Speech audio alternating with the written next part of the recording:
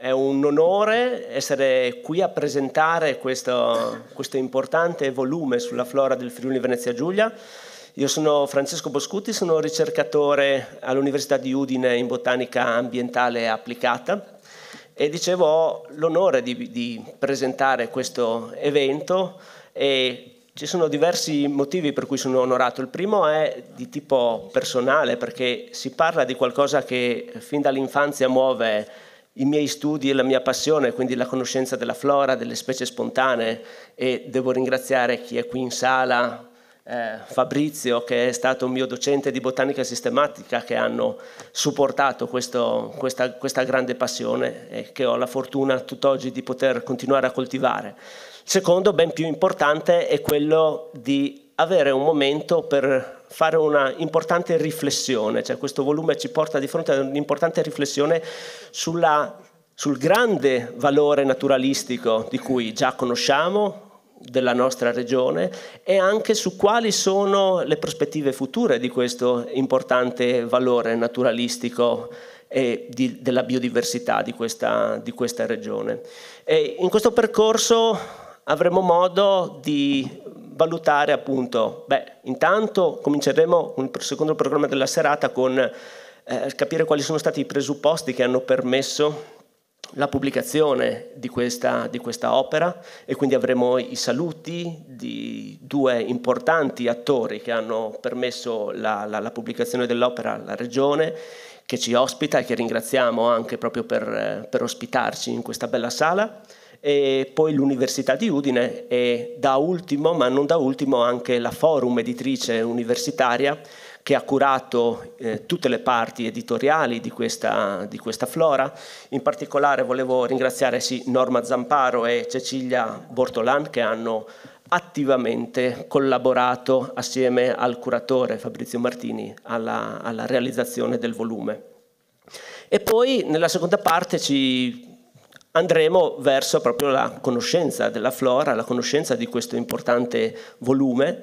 Prima però, eh, grazie alla presenza, eh, ringrazio fin da ora il professor Alessandro Chiarucci che è qui presente, che, eh, di cui vi dirò poi brevemente, ma che rappresenta anche la Società Botanica Italiana, essendo presidente della Società Botanica Italiana, che cercherà di farci capire qual è l'importanza di opere come questa eh, della flora regionale in un'ottica un po' più ampia, macroecologica, cioè quello che eh, la riflessione che dovremmo fare oggi e cominciare a fare è su quali sono un po' le sfide che queste piante, che questa biodiversità eh, a cui andranno incontro in, in futuro nell'ottica dei cambiamenti climatici, nell'ottica di quello che alcuni scienziati chiamano la nuova epoca dell'uomo, l'antropocene.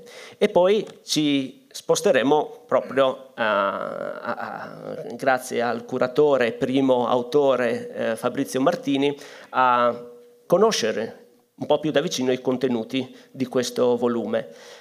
Nota a margine, eh, all'ingresso avete visto c'è eh, una, un, vi chiediamo una presenza per cercare di testimoniare insomma, vostro, eh, la vostra partecipazione e c'è anche messo a disposizione dalla forum, ci sono delle cedole eh, con eh, delle cartoline che potete poi eh, eventualmente utilizzare per poter acquistare l'opera eh, in, eh, con, con, uno sconto rispetto a quello che è il prezzo di copertina.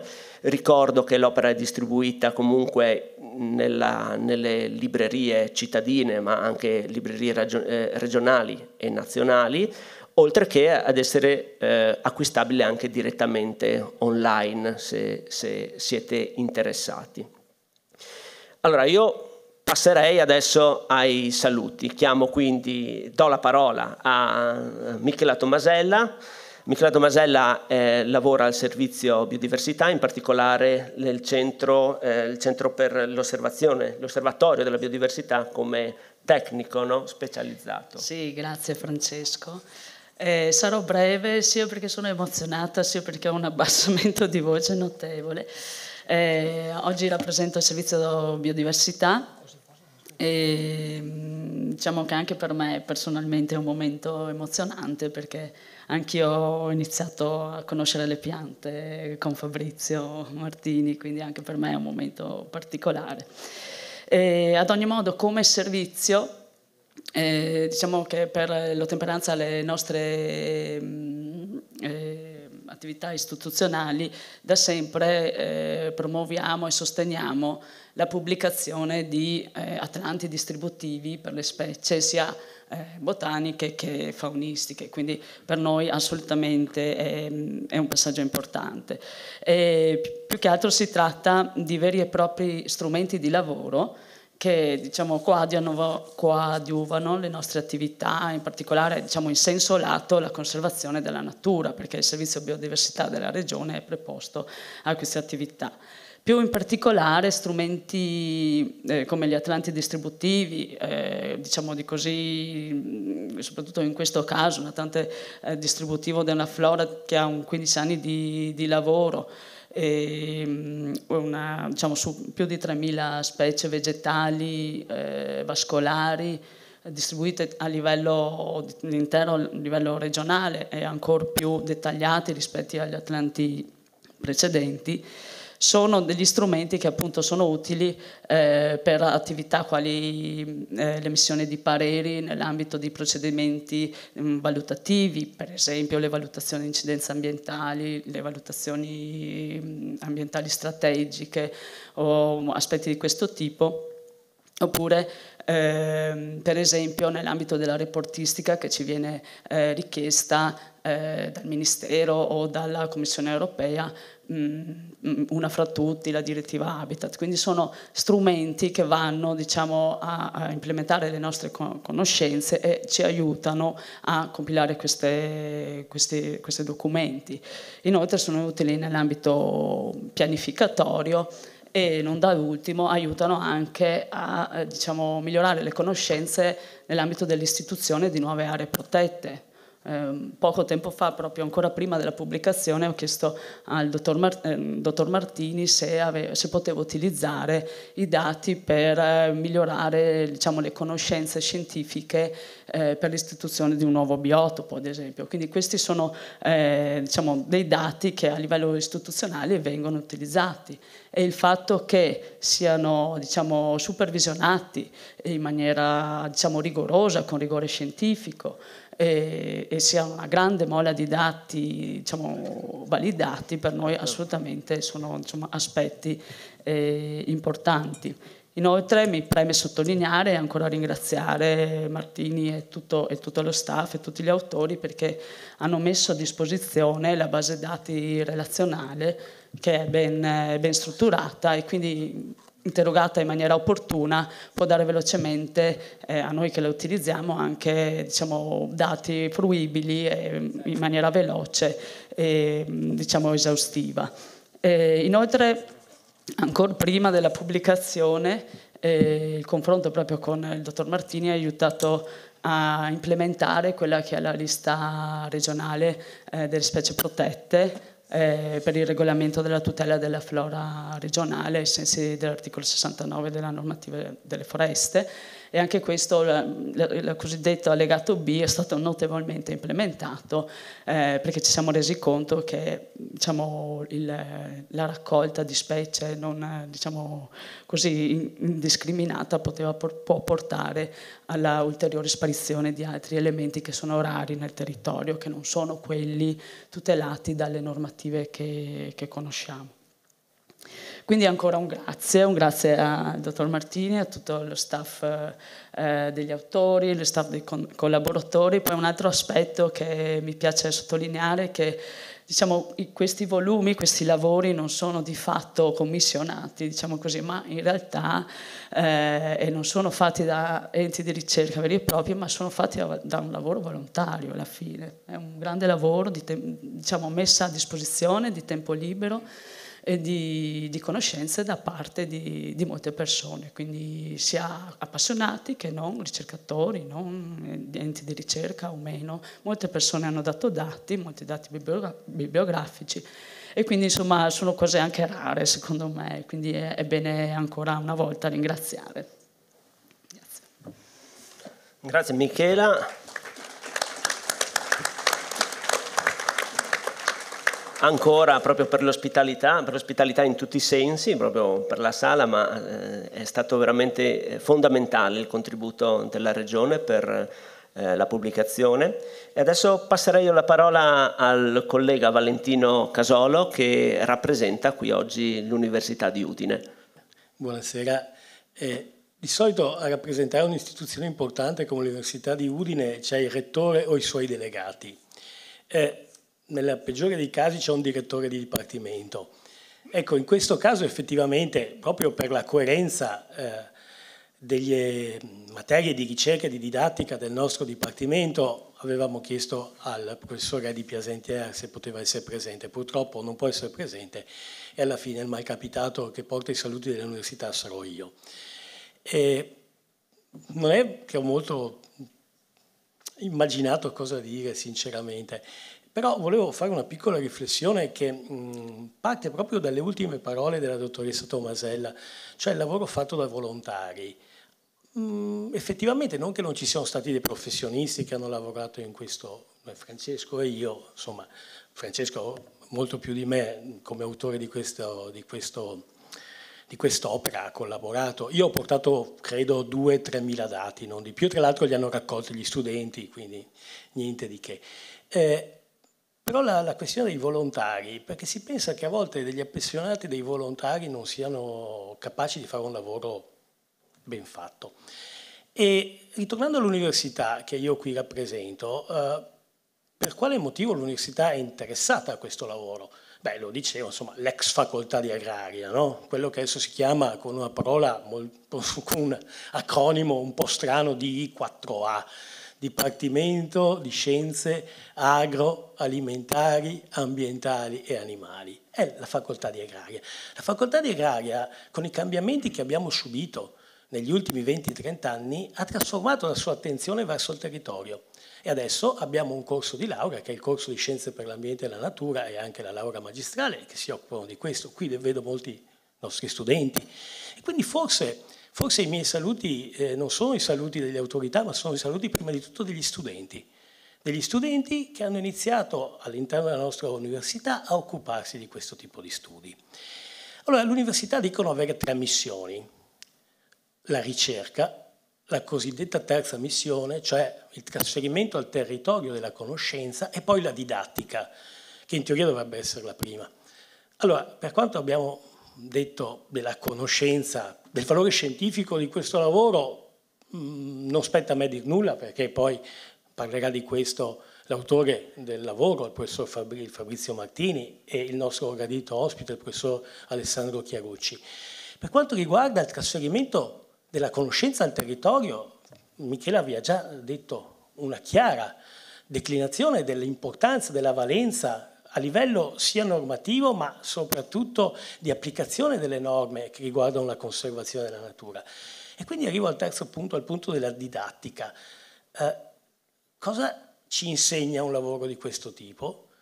E torniamo a quello che ha detto prima Michela, fatto da volontari ci insegna secondo me una cosa molto importante. Ormai noi siamo tutti abituati e soprattutto i giovani che sono quelli che assorbono più queste novità, no? questo mondo che cambia, questo nuovo che avanza, per citare un libro di Michele Serra, un nuovo che avanza dove non ho più, più, più tempo per riflettere, dove tutto è rapido e dove tutto si misura con un pollice alzato. Allora la rapidità è è un valore secondo me molto importante, ce l'ha insegnato anche Italo Calvino in Six Memos for the Future, un'opera bellissima. Ma io non sono così d'accordo sul fatto che il pollice stato sia importante. Secondo me spesso importante, anzi dovrebbe ritornare a essere importante, il lavoro fatto con coerenza, dignità, con calma, per lungo tempo e correttezza del dato. E questo è il lavoro che è stato fatto da Fabrizio Martini, dai suoi autori e da tutti i collaboratori che con calma, per 15 anni, hanno battuto, non posso dire metro per metro, ma chiaramente è un luogo comune, i sentieri del Friuli Venezia Giulia e anche il fuorisentiero, per riuscire a dire dove stanno le nostre circa 3.000 specie, in quale posto esatto possiamo trovarle. Ed è un lavoro certosino, io ho sempre associato questo tipo di lavoro a quello dei frati amanuensi, che ricopiavano con cura i testi sacri. E perché lo facevano? Per ricevere un like? No, perché era giusto così, perché il buon Dio lo voleva. Io non posso certo dire se il buon Dio lo voglia oppure no, ma so che questo lavoro è stato fatto in questo modo, con precisione, cura e sicurezza del dato scientifico. No, la scienza non ha sicurezza, la scienza non ha verità, la scienza ha solo un'ottimizzazione della conoscenza secondo il metodo usato. E io credo che questo lavoro sia stato fatto esattamente in questo modo, con calma, tranquillità e assoluta correttezza. Fra le righe, senza proclami, senza piante brillanti o intelligenti, ma semplicemente testimoni del nostro tempo che cambia. Grazie Fabrizio e grazie a tutti gli autori.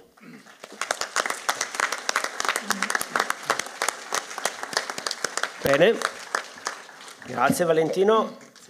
E adesso cominciamo con le presentazioni. Le presentazioni, eh, presentazione del presentatore prima e quindi eh, ringrazio ancora ulteriormente il professor Alessandro Chiarucci per essere venuto qui stasera e per introdurci un po' all'importanza dei contenuti di, di, di, di questo volume, di questo lavoro incessante di questi ultimi 15 anni. Il professor Alessandro Chiarucci è ordinario di botanica ambientale applicata all'Università di Bologna, è il eh, presidente della Società Botanica Italiana, ma soprattutto è un botanico ed ecologo che ha a livello internazionale trattato questioni importantissime di distribuzione della biodiversità, questioni macroecologiche biogeografiche che si fondano sulla conoscenza del territorio e su queste, e su queste opere. E quindi per questo è importante che ehm, sentire quello che, quello che, avrà da dire. Io mi fermo qui, potrei dire molte altre cose, che eh, dirige un centro eh, proprio sulla macroecologia all'Università di Bologna e che si occupa eh, proprio delle tematiche che vedremo di eh, quale sarà il futuro di questa biodiversità. No? Quindi queste sfide di cui si parlava, di cui si è parlato, eh, della gestione e della conservazione della biodiversità. Quindi lascio la parola ad Alessandro e grazie. Grazie. Sì. Grazie Francesco, grazie a tutti per l'invito, è un piacere, devo lanciarla io la presentazione? Sì. Eh, come faccio? Non ho familiarità con i computer che siano... Ah, ok. Grazie. Vista, uh, schermo intero. Ok, grazie io uso solo software open source e quindi quando con computer così non riesco, non so dove mettere le mani. Grazie a tutti. Eh, ovviamente da parte mia, prima di iniziare a parlarvi, voglio dire due cose anch'io, se me lo permettete, due cose su, proprio su, sull'evento di per sé, quindi oltre a ringraziare chi ehm, ha organizzato, chi ha gestito, quindi la regione, Francesco, l'università, anch'io voglio dire che i botanici, come guidati da, da Fabrizio Martini, qui, che, hanno, che, è il coordinatore, l'editore di un gruppo, peraltro anche altri hanno lavorato, sono davvero l'essenza stessa della, della, ricerca e per troppi anni, negli ultimi decenni, si è perso un po' questo valore, no? Perché chi andava in campagna a raccogliere i dati in qualche misura, diciamo, si è un po' anche nei nostri atenei affievolito di importanza. In realtà per fortuna oggi siamo resi conto di quanto questi dati siano fondamentali e quanto siano importanti per fare ricerca anche di altissimo livello. Eh, ci sono avuti degli anni in cui c'è stato un po' di, di considerazione, vabbè sì, roba di, da scaffali polverosi dei musei, questi dati, no? diciamo, cioè gli erbari, le raccolte, e quindi anche in molti atenei si sono perse queste posizioni. Adesso ci siamo resi conto di quanto eh, mancante sia la conoscenza dove queste, questi elementi di conoscenza si sono persi, quanti, quanto sia importante reinvestire anche a livello di Atenei e di centri di ricerca. Quindi è importante fare queste considerazioni che faceva anche il collega Casolo dell'Università di Udine, questa calma, questa non farsi prendere dalla, dalla logica che c'è stata nei nostri Atenei del publish or perish. Io quando ho preparato questa presentazione, di cui ora vi inizio a raccontare qualcosa, mi sono attenuto a quello che Francesco Boscutti mi ha detto, quindi non, di non parlare, non vi parlerò assolutamente del tomo, vietato, che, vietato. Ma di quello che si può fare con i dati che vengono raccolti in questa e in N altre sorgenti di persone che fanno questo tipo di, di raccolta di informazioni. Ho cercato quindi di, una, di raccontarvi una storia che ci faccia sentire quanto è importante, questi dati sono veramente importanti per questioni fondamentali, sia di ricerca che anche di cambiamento. Anzitutto, visto che siamo un pubblico diciamo anche di, di ampio respiro, mi, mi, permetto di dire qualcosa su cos'è la biodiversità, parola di cui oggi parlano tutti. Fino a dieci anni fa, quando parlavamo di biodiversità, venivamo quasi derisi come quelli che vanno in giro con retino a inseguire le farfalle o a cercare le primule sulle montagne. No?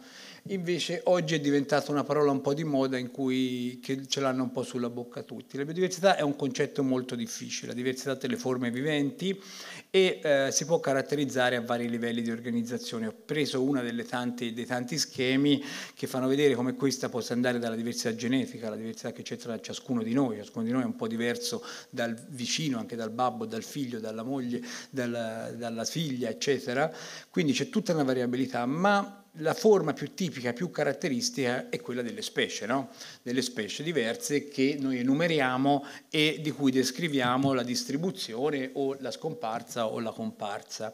Quindi la specie viene spesso definita l'unità, la, la currency, la, la, valuta corrente con cui si misura la biodiversità. Basta pensare anche diciamo, ai racconti biblici, no? quando Dio avrebbe detto a Mosè prendine due di ciascuna specie per salvare la biodiversità dall'alluvione dal grande diluvio che stava arrivando. Quindi è un concetto anche molto, molto, molto radicato nella nostra cultura, nonostante i tassonomi, passatemi questo, questa battuta. Ma quante cavolo sono queste specie di questo mondo? Non lo sappiamo, non ne abbiamo la più pallida idea. Non ne abbiamo la più pallida idea. Ad oggi abbiamo stimato, nel 2022 è stata descritta la due milionesima specie elencata sicura, quindi abbiamo almeno 2 milioni di specie descritte su questo pianeta. Ma se ci dobbiamo chiedere quante sono quelle che dobbiamo ancora descrivere, la risposta è forse 3 milioni e mezzo, quindi ne mancherebbe un milione e mezzo, forse 30 milioni, quindi ne mancherebbero 28 milioni dalle due che conosciamo. Uno dei, dei, lavori più accettati, più globalmente diffusi, e questo dimora, e colleghi, che nel 2011, ormai o 12 non ricordo, hanno deciso di fare una stima utilizzando vari, vari, vari modelli e vari metodi e hanno sancito che il numero di specie probabilmente verosimile per il pianeta Terra è 8,9 milioni. Quindi 8, 9, 8, o 9 milioni per approssimare di specie esistenti sul pianeta, ne conosciamo 2 milioni. Significa che a tutt'oggi, dopo due secoli e mezzo di esplorazione tassonomica scientifica moderna, abbiamo descritto meno di un quarto di quelle che esistono. Per le piante obiettivamente siamo un po' messi meglio perché sono più facili, sono più grandi. La maggior parte della conoscenza mancante è sugli insetti ovviamente, sui funghi, su gruppi in cui la tassonomia è più, più indietro perché mancano gli esperti o perché la diversità è così tanta, specialmente nelle aree tropicali, che, che nel ne manca, ne, ne manca, tanta. Per le piante in realtà stimiamo che l'80% siano state descritte. Si tratta circa 400, per dare un numero così mh, approssimato in modo grossolano, circa 400.000 specie in tutto il mondo. Qui parliamo di 3.000, quindi 3.000 su 400.000 per una regione tutto sommato piccola a scala planetaria è una bella fetta di biodiversità se ci pensate. No? Uh, L'ha menzionato Francesco, ci avevo messo una slide così per parlarci un po' sopra sull'antropocene. L'antropocene è quest'epoca in cui il nostro impatto sugli ecosistemi diventa così massivo che verrà registrato dai sedimenti geologici. L'antropocene non è definito da, soltanto da, diciamo, dagli ecologi, dai filosofi, è definito dalla Commissione Stratigrafica Internazionale, cioè sono i geologi sostanzialmente, che hanno definito come l'inizio dell'accumularsi di certi nostri prodotti nel sedimento geologico. Ci sono due o tre definizioni, ancora vanno un po' limate, ma sostanzialmente gli elementi radioattivi degli esperimenti nucleari e i detriti quelli che si chiameranno i tecnofossili, cioè chi verrà fra 100.000 anni a studiare gli strati del pianeta troverà i tecnofossili, che potranno essere dalla ciabatta di plastica al telefonino, a un pezzo di automobile o qualsiasi altra cosa. No? Quindi in questi strati non ci saranno solo le ossa dei dinosauri e le conchiglie dei molluschi che troviamo abitualmente nei nostri fossili, ma ci saranno i nostri residui. Per darvi un'idea di quanto importante sia studiare la biodiversità nell'antropocene, mi piace dire questi due numeri. Nel 2020 la massa delle cose costruite dall'uomo, incluso le sedie su cui stiamo, sedendo, mm, stiamo passando noi il pomeriggio, ha superato la biomassa del pianeta Terra. Cioè ci sono più oggetti costruiti dall'uomo che animali e piante. La plastica è il doppio degli animali, 8 gigatonnellate verso 4. Quindi ormai il nostro impatto sugli ecosistemi è così massivo che la vita è stata spremuta in uno spazio anche massivo di massa piuttosto piccolo. Vi dico un altro numero, sugli, anim- sugli animali, che assommano circa 4 gigatonnellate, i mammiferi, che sono circa 6-7 mila specie, incluso le balene, i delfini, i canguri, tutta questa roba qua, il 32% della biomassa sono gli esseri umani, di, di 7 mila specie. Il 64% sono gli animali domestici, il cibo per umani più o meno, diciamolo in modo brutale. Quindi umani e cibo per umani assommano al 96% della biomassa dei mammiferi del pianeta Terra e il 4% è la massa in cui sono costretti tutti. Questi numeri ci indicano semplicemente una cosa, lo spazio naturale si va restringendo, si va costipando in piccolissimi numeri. Chiaramente più piccolo la biomassa, non si possono comprimere gli elefanti ma nemmeno le primule, più probabile è la probabilità che queste si estinguano. E quindi è importante sapere dove sono, è importante sapere dove abbiamo le, queste presenze, per come diceva appunto la Silvia, per proteggere, per fare nuovi biotopi, nuovi siti di conservazione. L'IPBES è la piattaforma intergovernativa sulla biodiversità e i e i servizi ecosistemici, un po' l'analogo dell'IPCC, la piattaforma intergovernativa sul climate change, un po' più, più giovane, ha iniziato a rilasciare una serie di, eh, di documenti in cui stima che da qui alla fine di questo secolo, quindi il secolo dei nostri figli, eh, non un futuro remoto, un milione di specie andrà estinto da qui mia figlia del 2005 è verosimile che arrivi a fine secolo, nella sua vita vedrà scomparire un milione di specie. Se anche la stima fosse sbagliata del doppio, saranno 500.000, ma mia figlia vedrà un mondo più povero di 500.000 specie rispetto a quelle che suo babbo, cioè io, ho visto. Queste cose ci fanno riflettere su quanto sia importante sapere dove, quanta sia, dove stia e che trend abbia la biodiversità che noi osserviamo. Bene, veniamo alle piante. Sono un botanico, dovrei parlare di piante, ho iniziato con gli, con gli animali che hanno numeri più, più facili da gestire. Anche le piante sono messe relativamente, decisamente male. Questo è il rapporto del Kew Garden del 2020 in cui pubblica, si può scaricare dal sito del Kew Garden, si chiama lo stato delle, delle, delle, piante, lo stato delle piante e dei funghi del pianeta, in cui stimano, stimano quante siano le specie che vengono annualmente scoperte e in un solo anno, quello precedente, quindi il 2019, erano state scoperte praticamente funghi nuovi e piante nuove alla velocità di almeno uno per giorno. Cioè alla velocità di almeno una specie per giorno si sono scoperte nuove specie ma 2 su 5, quindi il 40%, sono minacciate di estinzione. E ce ne sono alcune elencate anche per il nostro paese. C'è una sintesi solo delle specie arboree, ci sono tre specie legnose, tutte del meridione, la Zelkova sicula, che è stata scoperta solo meno di vent'anni fa e già a rischio di estinzione, il Sorbus, un Sorbus e un Ramnus. Ci sono certamente molti numeri più alti per le specie erbacee ma non abbiamo semplicemente dati. Di queste legnose abbiamo più dati, più informazioni e quindi sono state quantificate. Quindi 2 su, su 5 significa il 40% delle specie verosimilmente andranno a diminuire o potenzialmente anche a scomparire. Bene, e dove stanno tutte queste specie? Eh, è importante sapere come si sono presenti. No? Uno dei tipici effetti del riscaldamento climatico è la loro necessità di spostarsi più, più a nord, ad esempio, dove il clima è più fresco, o più in alto in montagna.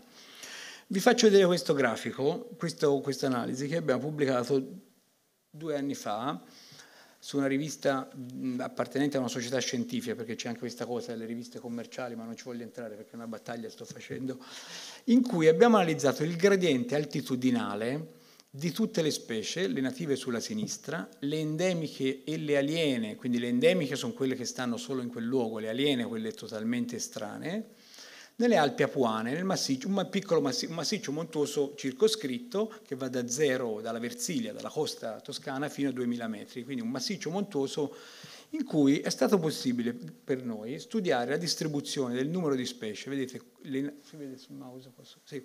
Il numero di specie è molto alto a bassa quota e scende con la, la quota, questa è la quota delle montagne, arriva a 2000, poco meno 2000.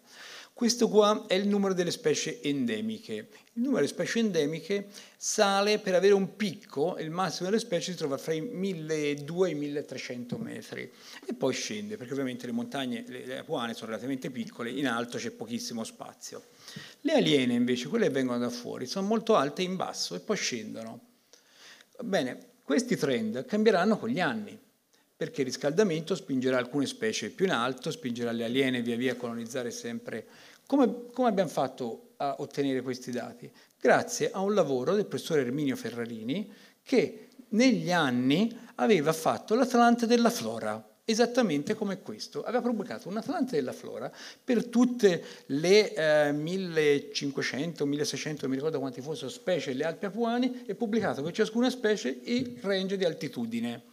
Qui siamo stati in grado di modellizzare, nel periodo in cui Ferrarini ha raccolto i dati, e quindi offrire una, uno, uno schema di base dove sta la diversità, quanta ce n'è e come sono i rapporti tra gruppi di specie. Negli anni potremo vedere chi aumenta. Le montagne come le apuane peraltro hanno un limite fisico che essendo relativamente basse le specie potranno salire ma non più di tanto perché non c'è montagna sopra i 2000. Bene, questo per farvi vedere quanto dati di, di, diciamo, di, interesse anche futuro possono emergere, ve ne faccio vedere anche qualcun altro, da studi che sono stati categorizzati semplicemente come affatto elenco delle specie. No? Quindi era stato dato poco valore a questa flora, gli era stato da, riconosciuto poco valore.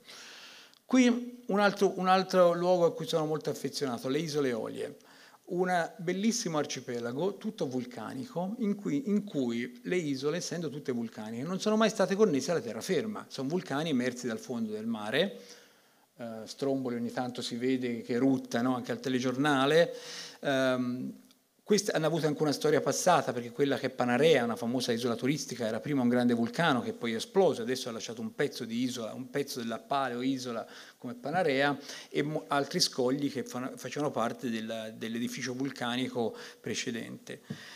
Questo posto è molto attivo, è un posto in cui la geologia fa, queste foto le abbiamo fatte una su Stromboli a destra e una su, su Vulcano a sinistra, Vulcano dà pure il nome ai vulcani, l'avevano chiamato così i romani, ma tutti i vulcani del mondo si chiamano così per il nome di questa isola.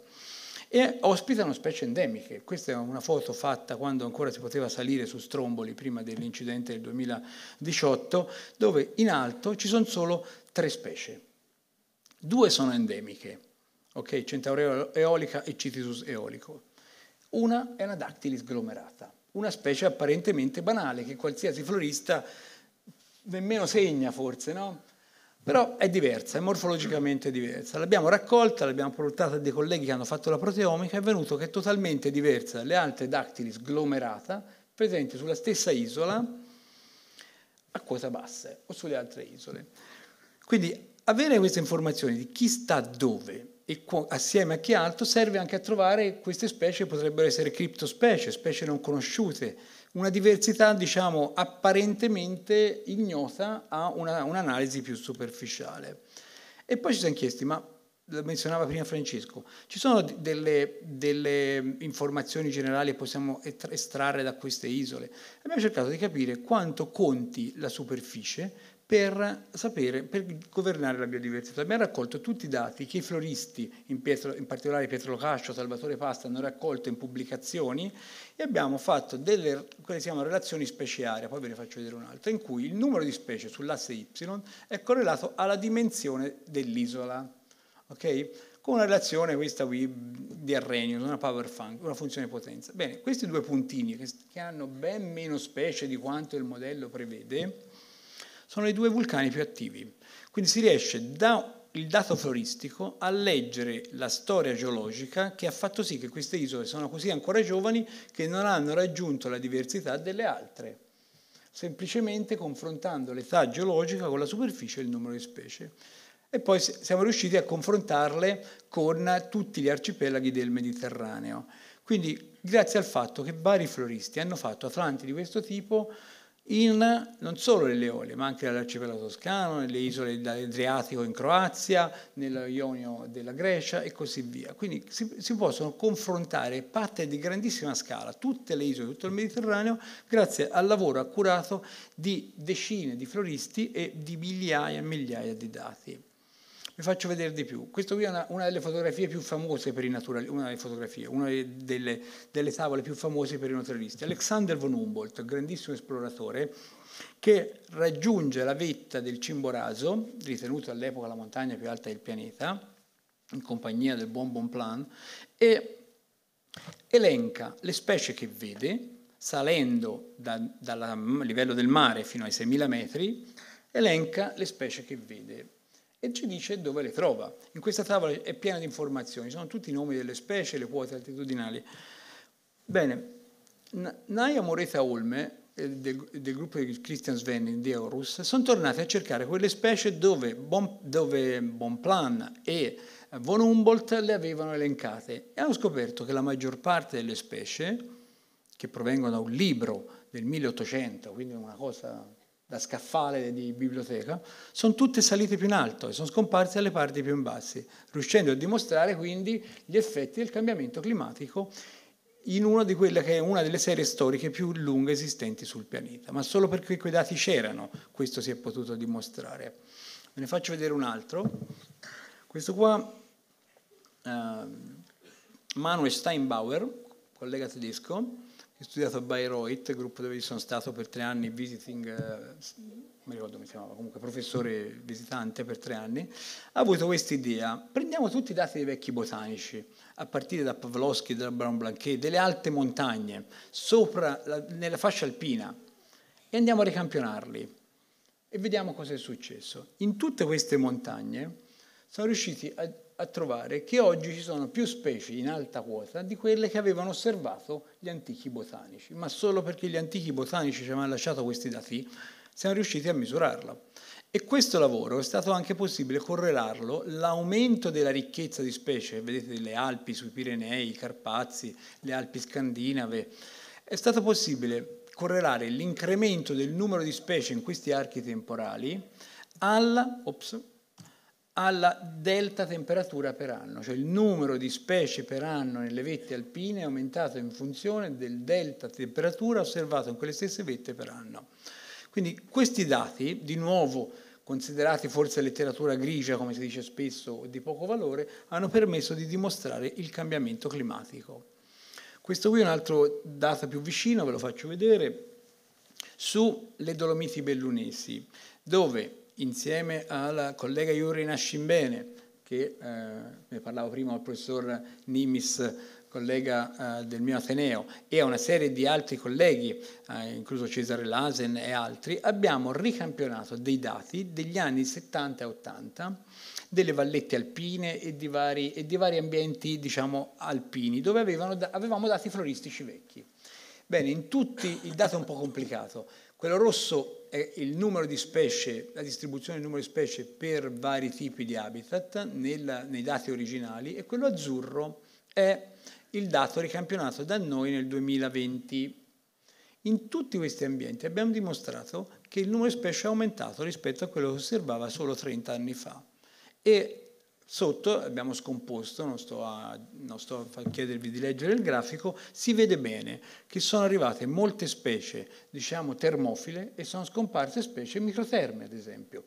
Quindi si riesce a leggere il cambiamento anche in un piccolo ecosistema, come, piccolo insomma rispetto alla scala globale, in un nostro parco come le Dolomiti bellunesi.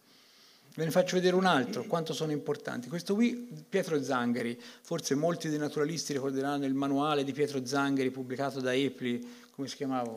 Naturalista raccoglitore, quello là, il raccoglitore. Pietro Zangheri ha lasciato un archivio bellissimo con tutte le coordinate dei suoi, sostanzialmente le mappe di dove ha fatto, ha raccolto i dati. E ci ha lasciato 22 plot, eh, ne ha lasciati di più, però qualcuno non esiste più, per faggete, castagneti e cerreti nella Romagna, campionati fra il 1934 e il 1961. Noi li abbiamo ricampionati nel 2018, esattamente usando i suoi dati di archivio, che sono questi qua che vedete, e ve lo faccio breve qua, se andiamo a vedere, noi troviamo sempre molte meno specie di quelle che lui osservava. In totale, molte meno specie, questa è la ricchezza di specie, questa è nello stato arboreo, questa è nello stato arbustivo, solo nello stato arboreo troviamo più specie, ma in totale troviamo solo 239 specie rispetto alle 284 che lui trovava e questo vale per le faggete, vale per i castagneti, vale per i querceti. Quindi apparentemente è una lettura semplificata, una perdita di biodiversità. Andando a guardare le specie, questo è un ordinamento, in realtà ci siamo resi conto che le specie scomparse sono tutte quelle dei pascoli, dei prati, perché quei boschi all'epoca di Zangheri erano molto pascolati, erano usati dal bestiame, erano tagliati un po' più frequentemente. Quindi abbiamo osservato una diminuzione di specie, ma siamo riusciti a vedere una flora più forestale. Quindi gra- grazie a questo confronto di circa fra i 60 e gli 80 anni, abbiamo visto un cambiamento di questi boschi che sono diventati delle foreste, hanno perso tutta quella componente di flora, diciamo di ambienti aperti che prima era presente e oggi non c'è più. E lo si riesce a correlare con ad esempio la, la temperatura, con l'umidità, i suoli più acidi quindi ad avere informazioni anche di come è cambiato il suolo, perché estraendo le informazioni ecologiche delle specie si riesce a capire se queste indicano un suolo di un tipo o di un altro, un'esigenza idrica o un'altra. Qui siamo riusciti a dimostrare che i boschi della Romagna sono oggi più ricchi di suoli fertili, più freschi, ma e popolati da una flora nemorale molto più abbondante di quella che vedeva Zangari. Ovviamente cambia tantissimo i numeri, l'85% delle specie che abbiamo osservato è diverso da quello che lui vedeva, l'85%, solo il 15% è simile. Vi faccio vedere un altro caso di studio a cui sono molto affezionato, sempre grazie ai botanici dell'Università di Pisa e di Firenze, che andavano tradizionalmente a fare gli elenchi di specie in tutte le isole dell'arcipelago toscano, incluso questi isolotti di, di secondario ordine, no? e lasciavano questi report. Mi sembra, ecco, ci avevo messo una slide. Questi report li, dei, dei, libri o delle pubblicazioni che oggi non sono censite da Web of Science, da Scopus, così, che sono questa flora pisana, o questo il prodomo e la flora toscana, o la, flora, la florula di Capraia, o la flora di Gorgona, in cui però lanciavano questi elenchi di specie, isola per isola, dal 1830 in poi. Quindi l'idea è, queste sono un database sostanzialmente, sono un vero database di informazioni antiche che abbiamo convertito in tabelle, in database moderni, digitali diciamo, poi che durino di più di quelli cartacei, Pierluigi non lo so, probabilmente no, prima parlavamo della durata dei documenti cartacei con il professor Nimes, e siamo riusciti quindi a confrontare due figure delle flore, una fra il 1830 e il 1950, diciamo a cavallo del Novecento, e una moderna post-bellica 2015. E abbiamo osservato come il numero di, questo è il numero totale di specie, fosse 1600 nel primo periodo, 1601, 1541, quindi diminuito di poco, ma quello che è diminuito è la parte grigio scura, le specie native, mentre le specie aliene sono più che raddoppiate. E vi faccio vedere questo. Questo è, nella X quante specie c'erano per ciascuno, ogni puntina è un'isola. Spe- questa è più grande, quindi è l'isola d'Elba, aveva 1200 specie, circa 1150 specie nel 1900, ne ha solo 900 oggi. Quindi siamo riusciti a correlare il numero di specie oggi con quello allora de, de, antico, diciamo. E in tutte queste isole è diminuito, è diminuito del 20% circa. Abbiamo quantificato, no, scusate, il 17%. Sì. Comunque è diminuito in maniera significativa in tutte le isole. Però poi, siccome sappiamo se queste specie sono native o sono aliene, Guardate l'ordine dei puntini. Il nero significa che sono rimasti stabili, il rosso si sono perse e il verde, no scusate, il verde stabili, il rosso perse e il nero eh, acquisite. Per le native il rosso è sempre più grande, più a destra del nero, quindi sono più le specie che si sono perse di quelle che si sono acquisite. Dal turnover, no? dal cambiamento, una specie va e una arriva, è normale, è un processo normale in biogeografia.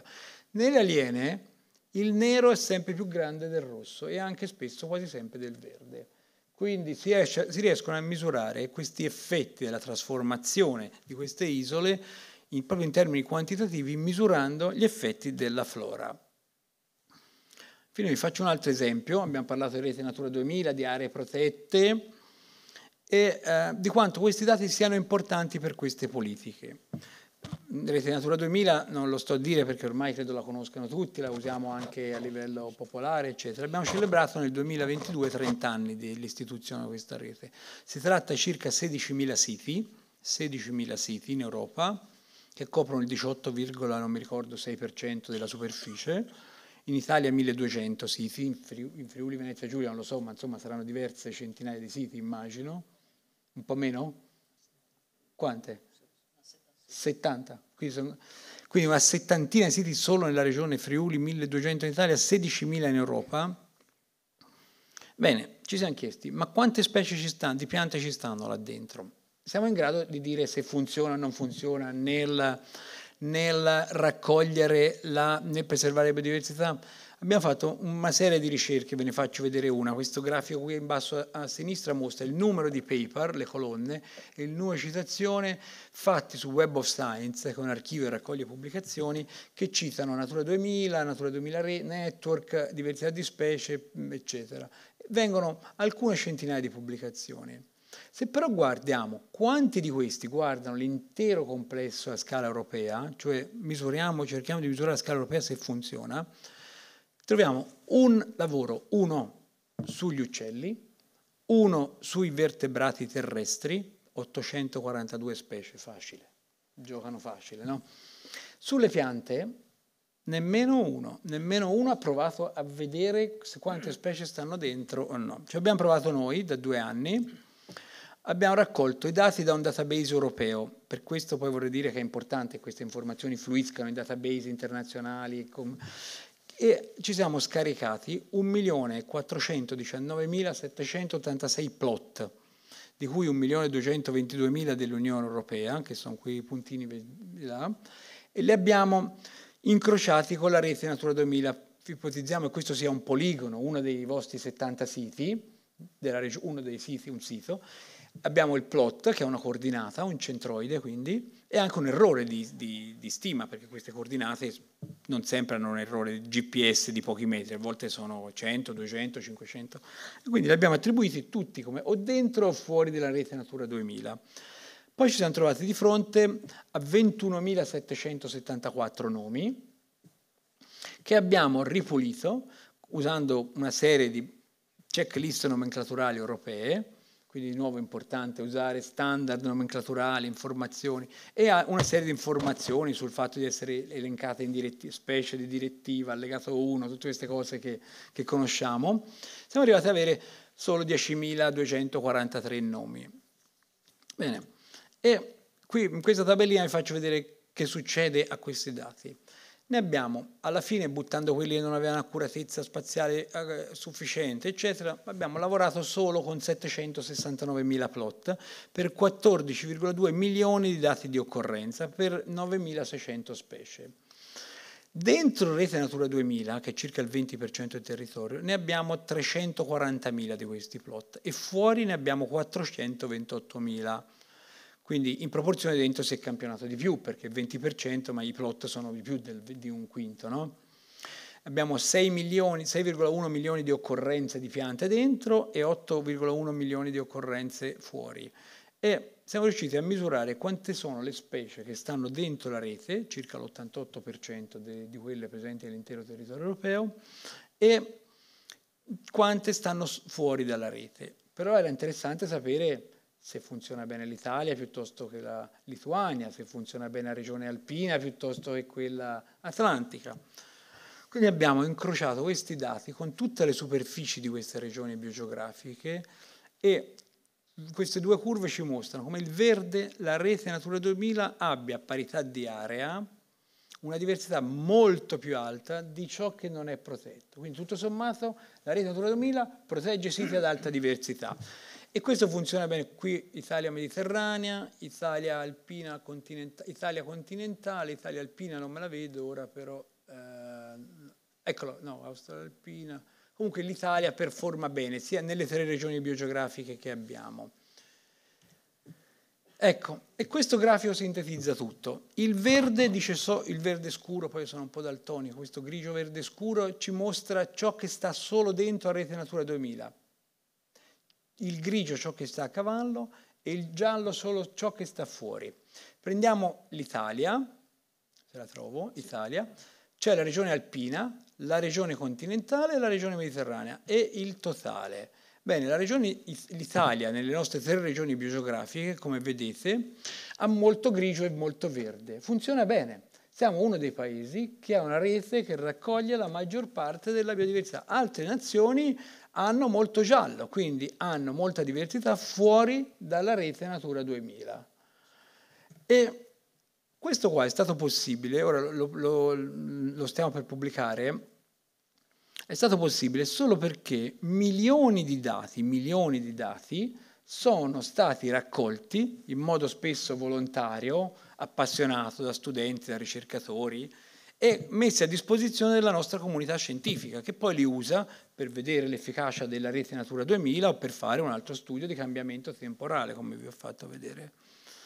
Uh, infine concludo citando due, due, cose. Una è GBIF, probabilmente molti di voi sono già familiari, esiste un, un, una facility globale che si chiama Global Biodiversity Information Facility, in cui tutti questi dati finalmente confluiscono in, un, in vari sistemi, esistono tanti. Prima ho citato EVA, che non è solo la moglie di Adamo, ma anche lo European Vegetation Archive, l'archivio europeo della vegetazione. Questo è GBIF, lo cito perché? Per far vedere come in pochi mesi avevo scaricato, avevo fatto uno screenshot un 7-8 mesi fa per fare una conferenza e erano 2 miliardi di dati, 2 miliardi, non 2 milioni, 2 miliardi di dati. Ho fatto uno screenshot ora mentre venivo su in treno, 2 miliardi e 579 milioni, cioè ci sono 2 miliardi e 579 milioni di dati disponibili a chiunque li voglia usare, si scaricano liberamente. Quindi è importante che queste banche dati poi vadano a nutrire le reti internazionali, le, global, le banche dati globali, eccetera. Ma non, quindi concluderei dicendo questo, il mondo è oggi davvero pieno di dati di biodiversità, ma questi sono sempre distorti. Non sono mai proporzionali. No? Questo è un lavoro bellissimo che hanno pubblicato due o tre anni fa, in cui fanno vedere gruppo, gruppo tassonomico per gruppo tassonomico quant'è il dato di, di occorrenza, i dati di biodiversità rispetto alla diversità di specie. Per le piante sono classificate qui come gli uccelli, sono quelli che hanno più informazioni, sono relativamente poche specie e tanti le raccolgono. No? Le piante, l'iliopsida, quindi le monocotiledoni, l'epinopsida, una magnolopsida di cotiledoni, quindi le piante tutto sommato abbiamo molti dati. Ovviamente quando poi si va agli arachnidi, agli gasteropodi, agli agaromiceti ci sono veramente pochissimi dati. Per le piante, per fortuna direi, abbiamo davvero tanti dati. Però questo non è solo importante dire noi ce li abbiamo e siamo più fortunati degli altri. Le piante sono la base funzionale e strutturale dei nostri ecosistemi, quindi è importante perché quando abbiamo dati sulle piante come questo possiamo fare inferenza anche sui dati di biodiversità di farfalle o di altri organismi di cui magari abbiamo meno dati, ma che dalle piante dipendono direttamente o indirettamente per via della nutrizione, del loro ciclo biologico, dell'habitat che le piante costituiscono, eccetera. Quindi i dati nostri delle piante, della flora, ci servono davvero tanto per gestire anche tutta quella parte rossa di dati di biodiversità. Quindi complimenti a chi li raccoglie, complimenti a chi li organizza e grazie di cuore per avermi invitato a, questa, a questo bellissimo evento. Non so se sono andato lungo, Francesco. Perfetto, perfetto. Anzi, comunque, cioè, questo vuole essere anche un momento in cui se c'è qualcuno che ha qualche curiosità, qualche osservazione da fare, è, il benvenuto. Eh prima di passare comunque alla presentazione effettiva dei contenuti del volume. E intanto grazie Alessandro e adesso ci muoviamo verso proprio i, i contenuti di questa flora, che eh, non è la prima flora del Friuli Venezia Giulia, no? sta proprio sulle spalle di, di giganti no? storici e anche più recenti. Eh, ricordiamo le, le, le, le, flore del professor Poldini, no? che hanno impostato in maniera scientifica anche la, l'esplorazione no? del, nostro, del, nostro, territorio. Adesso però arriviamo in questo, in questo, eh, in questo volume ad una conoscenza più dettagliata che ci verrà illustrata da Fabrizio Martini. Fabrizio Martini è stato docente di eh, botanica e, mh, sistematica, evoluzionistica, sistematica all'Università di, di Trieste. Eh, si è occupato nella sua, la faccio molto breve, sì. si è occupato nella sua carriera di fitogeografia, floristica, è uno dei più importanti floristi a livello nazionale, sicuramente. E Devo dire che eh, ha passato buona parte della, della, dei, dei, suoi studi sulla flora, sulla flora urbana, concentrandosi sulla flora urbana, concentrandosi sulla flora in generale, anche lavorando eh, con i colleghi del Bresciano e del Bergamasco per la bellissima pubblicazione sulla flora della Lombardia orientale e centro-orientale. E poi questi ultimi 15 anni ha continuato quello che, sta, che ha fatto da una vita, continuare a dedicarsi anche alla conoscenza della flora della sua regione. No? E oggi ci parlerà del risultato, del risultato che come, si, come vi dicevo si appoggia sulla conoscenza, una conoscenza regionale che ci viene da, dal passato e che comunque guarda sempre al futuro, proprio perché, eh, come abbiamo visto, questi dati sono importanti per fornire dati utili dal punto di vista applicativo e anche proiezioni, proiezioni future. Quindi adesso lascio la parola a Fabrizio e grazie. Sì.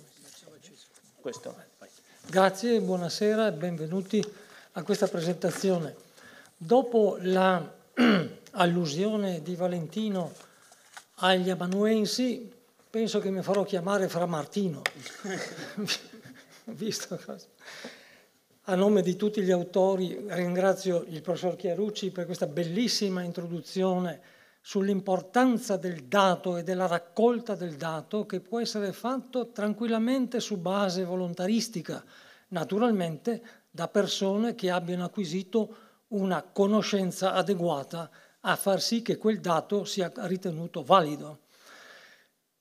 Ringrazio ovviamente anche tutti i collaboratori, e sono tanti, sono credo più di 50 a vario titolo di questo lavoro, e poi naturalmente ringrazio la Regione per il sostegno che ha dato alla pubblicazione e i due moschettieri, dell'Università di Udine, senza i quali questo lavoro non sarebbe uscito, ve lo dico francamente, se è stata solamente la volontà e la caparbietà di Francesco e di Valentino a far sì che questo lavoro finalmente veda la luce. Ecco, terminati i convenevoli, possiamo cominciare a eh, dare qualche notizia sul metodo del rilevamento che, come abbiamo visto dalla prolusione del professor Chiarucci, è fondamentale per poi ottenere una valida risposta a livello globale. Il rilevamento floristico da noi è, è stato importato dal professor Pignatti alla fine degli anni 60 ed è quello che è usato dalla cartografia floristica dell'Europa centrale, CFCE. Un, il territorio che si vuole investigare viene, da, viene suddiviso da una griglia fissata nella quale si opera poi il uh, rilevamento. Questa griglia uh, ha una serie di unità, tre. L'area di base, che è quella in cui vedete um, racchiusa la regione, e ciascuna area di base misura circa 144 km quadrati.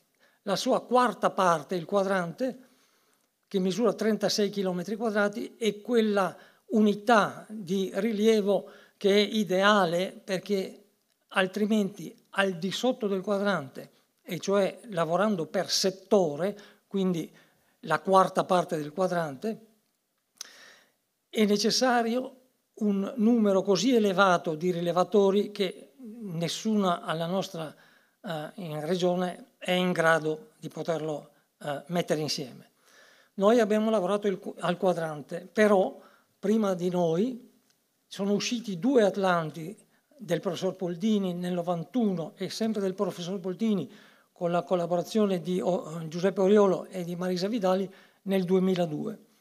Questo è, il, il lavoro che presentiamo stasera non differisce sostanzialmente da questi due precedenti lavori, semplicemente è più preciso perché mentre questi lavori sono stati realizzati con una uh, ispezione alla, limitata alle aree di base, nel, nel nostro caso la ispezione è andata a svilupparsi per quadrante. Questo perché i nostri vicini di casa, gli austriaci, i carinziani e gli sloveni, avevano già utilizzato questo sistema per la loro cartografia. E quindi partendo da un'idea che è nata, diciamo, alla fine degli anni 90 da un gruppo di pteridologi, di coloro che studiano le felci, i quali volevano rappresentare la distribuzione delle specie di felci per tutta l'Italia nord-orientale. Ecco quindi che noi ci siamo trovati, aderendo, avendo aderito a questo progetto, ci siamo trovati di fronte alla necessità di rivisitare la nostra regione alla ricerca delle felci eh, completamente perché, come vedete, questa cartografia era, veniva redatta per quadrante. Dunque noi abbiamo dovuto rifare completamente la cartografia per le felci, ma a questo punto il tempo impiegato e le energie sul campo sono state tali da convincerci che era il caso di iniziare una cartografia al quadrante anche nella nostra regione, perché altrimenti i dati del, eh, floristici raccolti all'area di base non sono comparabili con quelli raccolti al quadrante per la scala diversa. Ora, nell'Atlante delle eh, Orchidacee, sempre per lo stesso territorio, l'Italia nord-orientale, uscito nel 2013 da eh, eh, Perazza e Lorenz, il nostro lavoro è stato molto facilitato rispetto al precedente Atlante per il fatto che avevamo già iniziato la cartografia al quadrante. Questo ci ha risparmiato molte energie e ha nello stesso tempo stimolato la eh, produzione di una nuova banca dati che vedete nell'immagine, eh, sviluppata da Enzo Bona, che è un mio carissimo amico che ha svolto lo stesso compito per, la l'Atlante floristico della Lombardia centro-orientale, provincia di Bergamo e di Brescia, e che quindi non ha fatto altro che trasportare la banca dati già esistente per la Lombardia alla nostra regione. Questo ha permesso di incamerare eh, i dati nel database e nello stesso tempo le idee, chiarirci le idee sugli obiettivi che si volevano raggiungere e quindi che sono praticamente elencati qui. Redigere un inventario nuovo, aggiornato, realizzare la banca dati, cosa che è stata fatta e a, questo, a quest'oggi la banca dati non è solo eh, a disposizione degli autori e dei collaboratori, ma anche della regione, della regione Friuli Venezia Giulia, che è stata poi la promotrice della pubblicazione. Mi sono dimenticato, ma lo ricordo adesso, l'enorme lavoro che è stato svolto dalla editrice Forum e che ha eh, avuto, eh, come dire, contro una composizione e una redazione molto difficili da ottenere e questo, per questo dobbiamo ringraziare la dottoressa Norma Zamparo che è stata la coordinatrice della casa editrice. Uh, vado, proseguo a portare con rilevamento cartografico della flora le nuove conoscenze. Pensate che nell'arco di questi 15 anni, diciamo così, sono 137 le entità vegetali fra specie e sottospecie di piante superiori che sono state iscritte ex novo nella nostra flora. La banca dati permette a questo punto di avere una, una, eh, dire, uno sguardo costantemente aggiornato sulle piante di lista rossa, che sono quelle minacciate. E poi infine quella, lo, uno degli scopi è quello, speriamo realizzabile, di offrire alle amministrazioni eh, territoriali un eh, strumento in grado di poter essere utilizzato nei rispettivi territori. L'ultimo che vedete elencato e che adesso è realizzabile, partecipare alla realizzazione, alla realizzazione di atlanti corologici sovraregionali, come quelli che sono già stati pubblicati, e sovranazionali. In questo momento c'è in fase di eh, eh, completamento, si, direbbe, si potrebbe dire, l'Atlante dell'endemismo dell'Italia settentrionale, quindi ben più su un territorio ben più vasto rispetto a quello dei due Atlanti sovraregionali, quello delle orchidee e quello delle felci, che finora hanno visto la luce. È un lavoro molto complesso che speriamo di poter portare a termine nei prossimi due o tre anni, perché riguarda, ripeto, le Alpi, gli Appennino settentrionale in pratica tutte le regioni dell'Italia settentrionale. Sovranazionali perché c'è un altro progetto guidato dalla Svizzera, dall'Università di Berna, se non erro, il quale vuole alla fine produrre in rete un Atlante che è in via di definizione, le cui norme sono in via di, de, de, definizione, per l'intera flora delle Alpi. E non è poco, credetemi. La situazione dei dati del nostro Atlante è, è a oggi 308.758 dati per l'intera regione, così distribuiti quadrante per quadrante. Non vado a illustrare per non farla troppo lunga, eh, ma come vedete ci sono quadranti, mh, mm, quindi eh, eh, di, eh, diciamo della estensione di cui parlavamo prima di 36 km quadrati, poca roba se, se ci pensate, che superano mille, le, le 1175 dati nelle prealpi carniche, per esempio, o i 1196 in alcune quadranti delle, delle prealpi giulie. Però quello che stupisce almeno perso- le persone che non sono addentro alle questioni è il fatto di avere quadranti di 1118, 1019, 1291 specie per quadrante ambiti, negli ambiti urbani. E questo, come vedremo, ha il suo significato, ha un significato molto preciso che dopo andremo a vedere. Se voi guardate anche Udine, nella zona di Udine, ci sono 1046 specie, ben più di quello che abbiamo nella bassa pianura, per esempio qui nella zona di, delle risorgive con 558 specie. Il perché lo diremo fra un po'.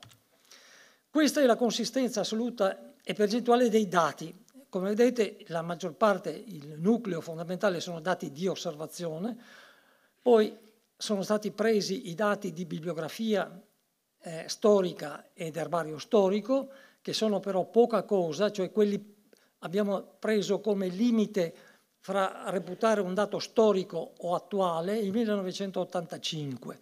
Quindi tutti quelli precedenti all'85 sono eh, ritenuti storici, tutti gli altri eh, recenti e quindi vedete come la parte del leone la gioca i dati recenti, altrimenti non avrebbe molto, avuto molto senso ehm, ehm, pubblicare un Atlante nuovo. Come vedete il totale qui è di 306.000 dati. Se ricordate il totale di prima, vuol dire che nel, nel giro di questa stagione sono stati implementati altri, circa altri 2.000 dati nel database. Quindi l'esplorazione è tutt'altro che finita, anche perché, ripeto, la situazione delle piante, come già il professor Chiarucci aveva esposto, cambia continuamente, continuamente. la tipologia dei dati implementati la uh, riportiamo secondo le mappe che escono dalla prima versione della banca dati, che non sono le mappe che trovate nel libro, e poi vedremo perché.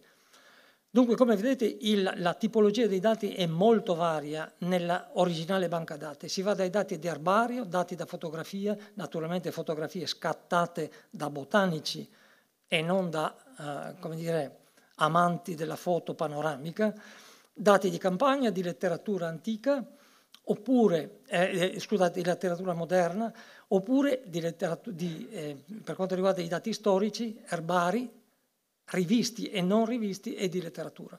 Non eh, vi lasciate de- ehm, fuorviare dal 1968 perché la banca, come vi dicevo, è stata presa direttamente da quella della Lombardia centro-orientale durante il lavoro della quale era stato stabilito che il 68 sarebbe stato lo spartiacque fra recente e antico. Noi abbiamo spostato tutto questo di una ventina d'anni. Ecco, in questo caso vedete che per Poa annua, che è una banalissima specie che trovate dappertutto, dappertutto, dalla pianura, dal litorale all'alta montagna, per Poa annua la gran parte dei dati sono dati di osservazione perché è una specie uh, inconfondibile o quasi. Per, queste, per, per, questo gruppo, per il genere Alchemilla, i dati invece sono solo dati d'erbario perché è un genere così complesso che attualmente in Europa esistono gli specialisti di questo genere, so, si possono contare sulle dita di una mano. In questo caso dato, i dati sono stati tutti rivisti da un collega anziano, ormai molto anziano, tedesco, il dottor Fröner, che tanto per parlare di volontariato è un ex pastore protestante ed è la massima autorità oggi in Europa per quanto riguarda questo genere. Ciperus erotinus, vedete la, la, tipologia dei dati, in questo caso le citazioni storiche sono prevalenti sulle citazioni attuali. È una specie eh, fortemente minacciata di scomparsa, come vedremo per quel che diremo in seguito. Ciperus erotinus. In questo caso Hieracium glauco, anche qua, la maggior parte dei dati sono dati di erbario, perché il genere Hieracium è forse il genere più complesso della nostra flora ed è anche questo appannaggio di la conoscenza approfondita, si capisce, non è che noi non conosciamo gli ieraci, ma a livello, a livello approfondito è di competenza di una, praticamente di una sola persona in Europa, il dottor Gottschlich, tedesco, che conosce, ha dedicato praticamente tutta la sua vita a solo a, a, a come dire, a raccogliere e a studiare solo le specie di questo genere. Da noi sono circa 100, fra specie e sottospecie, sono circa 100. Come vedete i dati prevalenti sono quelli di eh, raccolta, cioè di erbario rivisto. Questa invece è la rappresentazione attuale, quella che si dà nel libro. La prima tipo di rappresentazione, quella che abbiamo visto prima, è stata utilizzata per l'Atlanta della flora della Lombardia centro-orientale e ha suscitato molte critiche perché le mappe, molto ridotte per esigenze di pubblicazione, erano difficilmente leggibili con tutti quei simboli. Per cui in questo caso, facendo lezione delle critiche ricevute, abbiamo ridotto i dati a quattro tipi solamente. I dati antichi d'erbario o di letteratura in rosso, i dati moderni di osservazione e di letteratura oppure di erbario in nero. Questo per semplificare la lettura perché altrimenti le mappe diventavano molto difficilmente leggibili, specialmente da, noi, da, da quelli che si chiamano i non addetti ai lavori. Questo è l'aspetto dell'Atlante. È, stato, eh, um, dire, è stata la croce e la delizia della, dell'editore perché combinare i testi e le mappe in maniera da non relegare le mappe a una sola parte del libro e i testi tutti dall'altra parte, quindi bisogna sfogliare completamente eh, le pagine, siamo arrivati, io credo, a un risultato eccellente, nel senso che ogni mappa è commentata nella relativa pagina a sinistra. Naturalmente il numero di mappe varia a seconda del testo a disposizione. Ecco, questi sono gli argomenti di cui parleremo ancora stasera. Le cartine distributive dei gruppi critici, la flora estinta, la minacciata, l'aliena e la flora urbana. Fra, sono i capitoli più importanti del lavoro. La descrizione dei gruppi critici, il genere Achillea di cui il dottor Casolo, che fa finta di niente, è lo specialista a livello regionale, lo specialista. E in questo caso io lascerei quasi quasi a te la parola a proposito del genere. Che ne dici? No, no, potrei farla troppo lunga. sì. Dunque Achillea è il millefoglio che trovate dappertutto, dalle aiole alla, alla, ai prati, ai pascoli, fino in alta montagna, eccetera, eccetera. È un genere molto complesso perché le specie si ibridano facilissimamente fra loro e quindi questo comportava la difficoltà di presentare una mappa che fosse attendibile dal punto di vista statistico, cioè che quelle osservazioni fossero realmente relative a una certa specie. Nel caso di Achillea collina, vedete, e di tutte le Achillee del gruppo Millefolium, le mappe sono due. Una, quella a sinistra, che uh, è realizzata sulla base delle prove di laboratorio fatte nel laboratorio del dottor Casolo, e cioè eh, eh diciamo, uh, considerando l'aspetto biochimico della specie, in particolare per quanto riguarda le molecole dei proazuleni. Nel secondo caso invece sono le osservazioni e quindi la possibilità che nel dato di campagna entri anche un dato che non è di Achillea collina ma di un ibrido molto simile, con Achillea millefolium per esempio. Ora, queste due mappe, vedete, sono congruenti sul piano statistico perché la reale che scaturisce dagli esemplari d'erbario sottoposti all'analisi biochimica, grosso modo è congruente con quello del morfotipo. Questo rassicura sul fatto che non si è, non, grossi svarioni nel rilevamento in campo forse non li abbiamo fatti. Per quanto riguarda Gladiolus è un altro... Scusa Fabrizio se ti interrompo, ma è forse il caso, volevo ah, ricordare bene. che assieme a me questo lavoraccio l'ha fatto anche il dottor Massimo Buccheri del Museo di Udine e che purtroppo stasera, stasera aveva altro impegno. Non potesse. Grazie, sì, necessario, era necessario. Gladiolus illyricus sono, il Gladiolus illyricus e il Gladiolus palustri sono due bellissime specie, entrambe protette, di difficile discriminazione fra loro. Come vedete il carattere che è il, quello principale, il carattere diacritico principale sta nelle tuniche del bulbo. Ora, essendo una specie protetta, non è possibile, ed essendo anche piuttosto diffuso il genere, non è possibile cominciare a scavare tutti i bulbi, naturalmente. Anche quei due che vedete in foto poi sono stati ripiantati, ovviamente, essendo una... Dunque, le eh, gli altri caratteri sono caratteri molto, piuttosto evanescenti e non sempre riconoscibili per tali. E allora queste sono le due mappe di Gladiolus palustris e di Gladiolus illyricus, che sono praticamente presenti nello stesso ambiente. Per il momento sembra che ibridi non ce ne siano oppure non ce ne siamo, non ce ne siamo accorti. Tuttavia i dati accumulati erano tanti e allora ecco la soluzione diciamo molto discutibile è questa, di presentare la distribuzione delle due specie insieme. Va bene, consci del fatto che nessuna delle due rappresentazioni di ciascuna specie esaurisce la presenza della specie sul territorio regionale. La flora estinta, passiamo adesso al capitolo sulla flora estinta, finora si contano 243 fra specie e sottospecie che non ci sono più. Di queste il 38% vedete sono scomparse prima del 1900, il 37% dal 900 al, 20, al 925 e il 25% dal 926 al 2000. Vedete in, a destra un breve elenco di alcune di queste con le, indic- le ultime indicazioni che noi abbiamo sulla loro presenza, quindi per lo più pubblicazioni o dati di arbario storico. Vedete, Karek Satmani era presente nel, ne, solo nella zona di Forni di sopra ed è stata spazzata via, era una specie di torbiera, è stata spazzata via dalla costruzione delle piste da sci. Drosera anglica è scomparsa con... Ogni tanto sto, fa un po' di scherzi, si diverte. Drosera anglica è scomparsa nel 1906 con la bonifica di tutta la zona del Cormonese, della zona interna del, Cormone, del Cormonese. Ma per esempio Tifa Minima ne avevamo una sola stazione zona, nella, in una golena del tagliamento, è sparita nell'85 e questa è una specie, una delle più recenti scomparse che abbiamo dovuto patire e così via.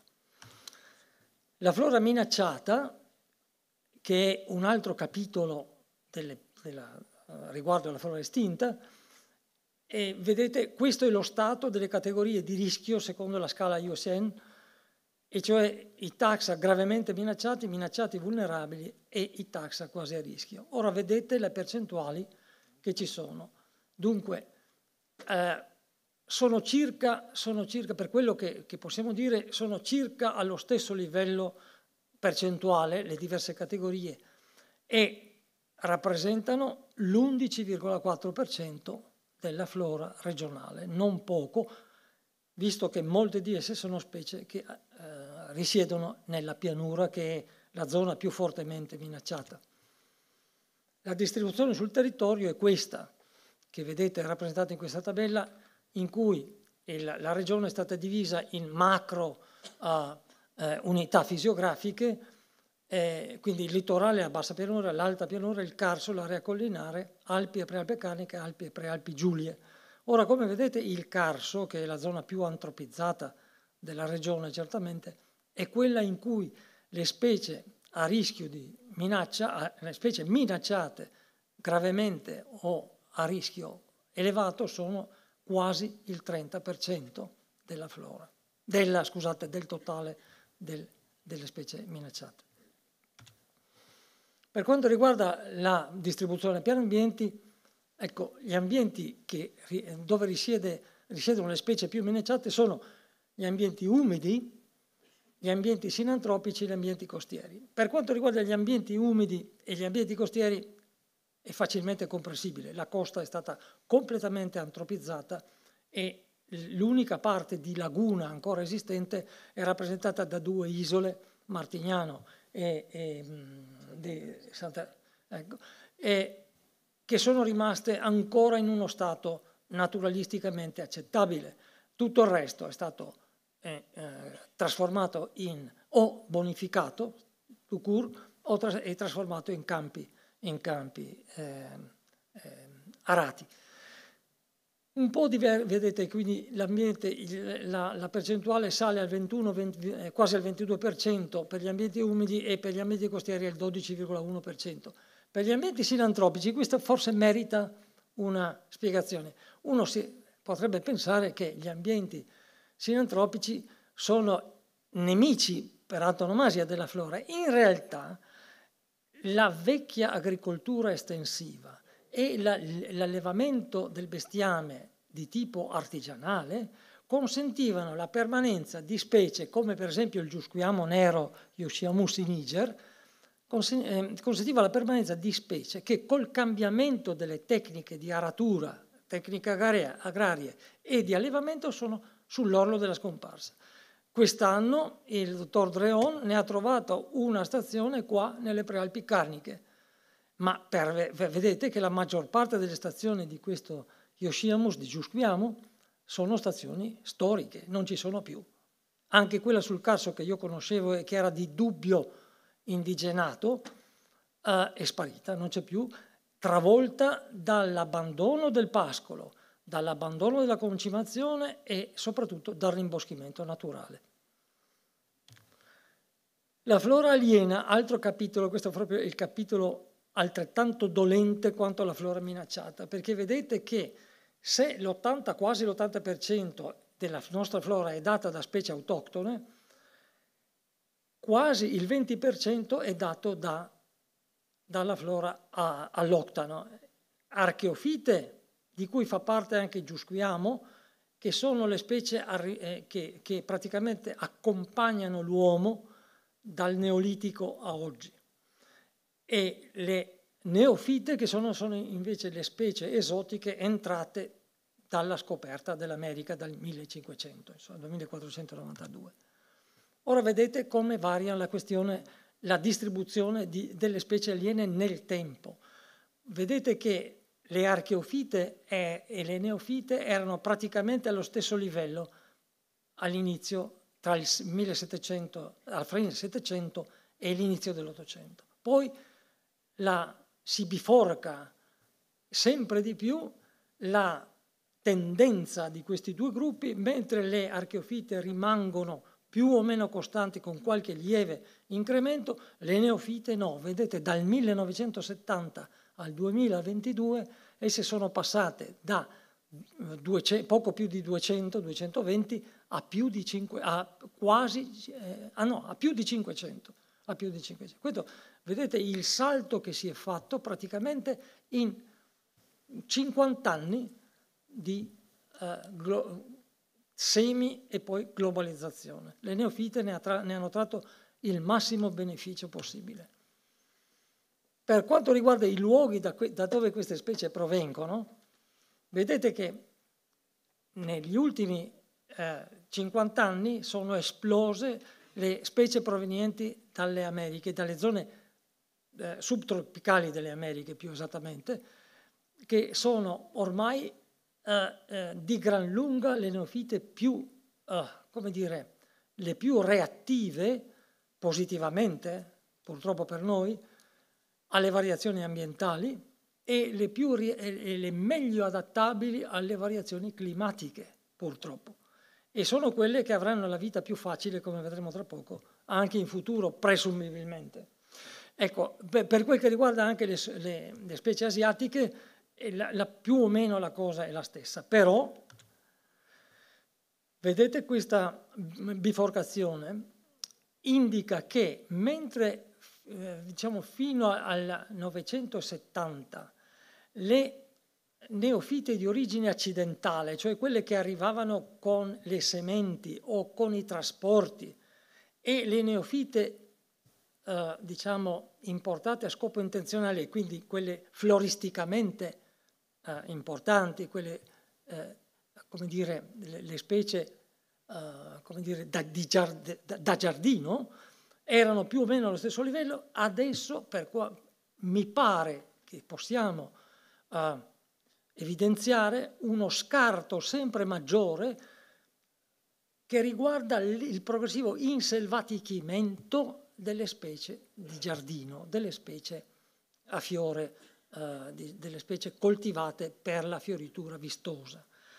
Questo è preoccupante e a questo dovrebbe provvedere il legislatore, in, in, come già si fa in altri paesi europei, proibendo la vendita, la commercializzazione di specie esotiche da fiore che abbiano già dimostrato tendenze all'invasività in altre regioni e in altri stati con climi analoghi al nostro.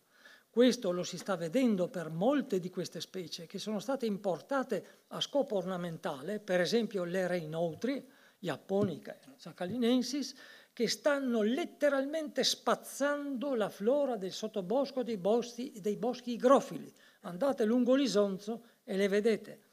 Eh, um, questo per quanto riguarda per esempio Reinoltre, ma ce ne sarebbero tante altre che meriterebbero attenzione, come vedremo dopo. In, con, in, in conclusione, per quanto riguarda le neofite, sembra attualmente che siano in progresso non tanto quelle derivate da importazione accidentale e quindi che hanno fioriture eh, dire, poco vistose, graminacee, ciperacee, eccetera, quanto quelle importate a scopo di coltivazione in giardino.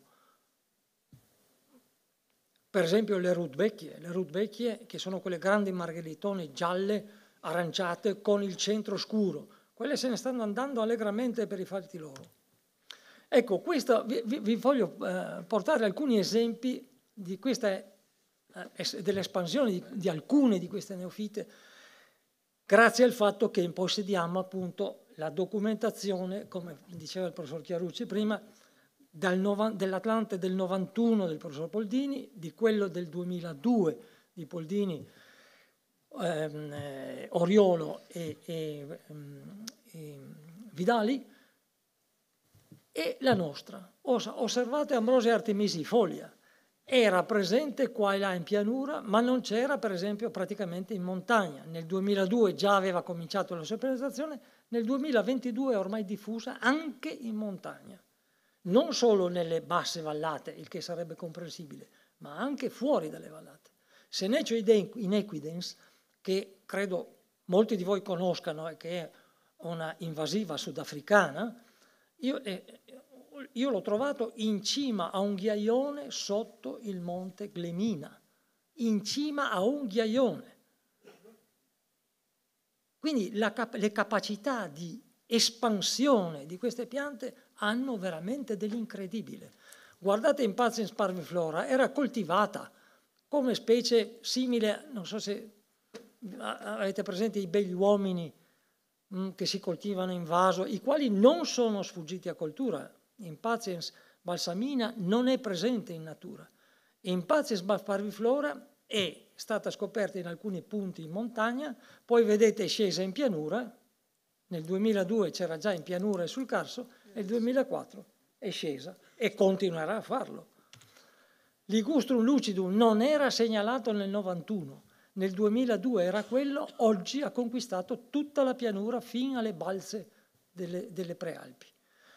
Trachycarpus fortunei è qualcosa di incredibile, è la palma di Chussan, è una palma coltivata dall'Ottocento nei giardini delle ville in Triestine e probabilmente anche eh, udinesi ed è, e se n'è rimasta buona fino al, alla fine del secolo, probabilmente perché i frutti non riuscivano a maturare. Io questo lo azzardo come ipotesi, perché dimostrarla, almeno io non, non, non sono in grado di farlo, ma oggi producono una quantità impressionante di frutti maturi, maturi, sono blu, sono grandi come una ciliegia e probabilmente sono il pasto di alcuni, alcune specie di volatili, di, di uccelli, perché guardate nel 2002 e guardate oggi, Oggi la palma di Ciussan si trova, si trova allo, spat, allo, stato spontaneo, spontaneo da seme, nata da seme, alberi, eh, palme di 3 o 4 metri, 4 metri nei boschi igrofili lungo i fiumi. Quindi le capacità di queste piante di adattamento, specialmente ai luoghi antropizzati, hanno, qualcosa di impressionante. Queste questa palma se n'è stata zitta, silenziosa nei giardini per più di un secolo e poi esplode. E adesso l'abbiamo in tutta la pianura friulana lungo i principali fiumi e torrenti. Eccole qua, queste, vedete, questi grafici sono di per sé eloquenti. No? Guardate il Prunus lauroceraso, che è una, una pianta da siepe, da siepe, coltivata nei giardini come siepe e per la bellissima fioritura Bon, fino al 2002 non ne conoscevamo l'esistenza allo stato ehm, spontaneizzato. Dal 2002 al 2021 si è conquistata il 30% dei quadranti in cui è stato fatto il rilevamento floristico. Da, dal 2002 al 2020, in 20 anni. In 20 anni. Ed eccoci alla distribuzione in sede regionale dei, delle, delle, specie, delle categorie principali di aliene. È, è il, queste mappe sono prese dal lavoro di Buccheri, che, di cui ricordava prima è il conservatore di botanica al Museo Friulano di Storia Naturale, istituzione presso la quale sono depositati tutti i nostri campioni d'erbario. Guardate le casuali. Saranno casuali perché ancora no, non, so, non hanno raggiunto la capacità di riprodursi, ma non è casuale la loro localizzazione, sono localizzate esattamente in, con, in corrispondenza alle zone più urbanizzate della regione, Monfalcone e Trieste, Udine, Maniago, Pordenone. Quelli sono i poli, le zone urbanizzate sono i poli di attrazione delle nuove neofite, le quali poi possono naturalizzarsi, quindi compiere per intero il ciclo riproduttivo, quindi la produzione di seme e di germogli, e allora vedete che già questo tipo di piante ha completamente colonizzato tutta la pianura friulana e si è introdotta nella, nella Val Tagliamento, nella bassa Val Tagliamento e nella Val del Fella rimangono isola felice le risorgive laddove è stato posto mano alla ricostruzione ambientale. Le trasformazioni sono forse le più pericolose, sono esotiche naturalizzate che entrano di prepotenza nell'ambiente naturale e si insediano stabilmente, cambiando la fisionomia dell'ambiente naturale. Una di queste è Amorfa fruticosa, per esempio c'è, sta, c'è, una, c'è stato un intervento della regione che l'ha eradicata e adesso si tiene sotto sorveglianza per evitare che ripenetri, ma tutta la bassa friulana, tutto il litorale e la pianura friulana, le siepi sono so, quasi esclusivamente dominate dalla, dalla uh, oh signor, la morfa fruticosa. Eh, scusate, ogni tanto il, il, il contatto con i neuroni si fa precario. Ora, e siamo quasi alla conclusione, la distribuzione delle fioriture è interessante perché vedete che la flora naturale, dunque le autoctone, queste in, verdi, in verde, con tutte le approssimazioni del caso, perché è chiaro che la fioritura in pianura non occupa gli stessi mesi che la fioritura in montagna, va bene? Questi sono valori medi. Allora, la fioritura delle specie autoctone si avviene fra maggio e giugno. Se voi andate a vedere le altre, che sono tutte quante aliene, vedete come le fioriture si spostino sempre più verso la stagione autunnale. Questo perché le estati sono sempre più calde e si prolungano sempre di più nell'autunno. A questo punto uno, partendo da questo diagramma, si può anche, cosa che nel libro mi sono azzardato a scrivere, si può ipotizzare che fra 30 anni la fioritura nella nostra regione sarà una fioritura bimodale, con due, con due apici, uno in maggio per le fioriture delle autoctone e uno in settembre-ottobre con la fioritura delle alloctone. In questo, ripercorrendo esattamente il diagramma fioritura delle, della, della, delle zone mediterranee, cioè delle zone calde, dove l'aridità estiva separa due gruppi di fioriture, quelle primaverili e quelle autunnali, in concomitanza con l'arrivo delle piogge. Io non ci sarò, qualcuno dei più giovani probabilmente, spero, spero di no, spero di no, ma forse potrà constatarlo. Ed eccoci alla conclusione, le flore urbane, che sono un capitolo che mi ha veramente interessato moltissimo, perché la città, per meglio dire la città nel, nella, come dire, nella come dire, concezione urbanistica di centro storico, perché poi la periferia e le costruzioni sono diverse, seleziona le specie.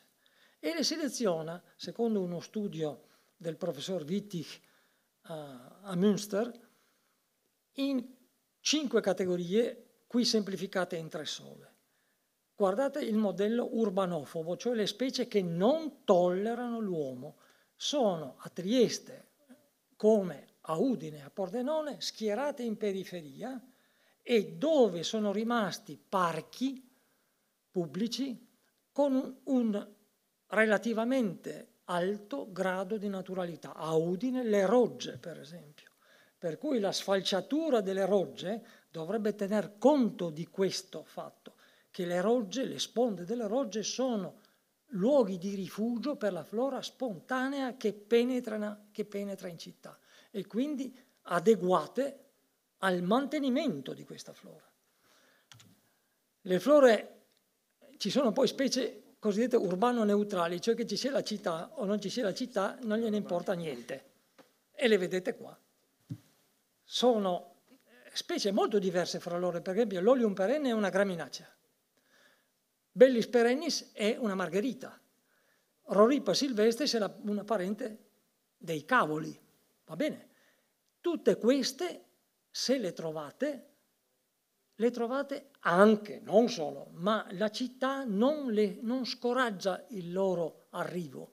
Arrivano e si insediano in orti, aiole, scarpate, non ha importanza, arrivano e si insediano. E, do, e dopo abbiamo quella, il modello urbanofilo, cioè quelli dei, delle piante cittadine in senso stretto, cioè sono piante che trovate specialmente in città.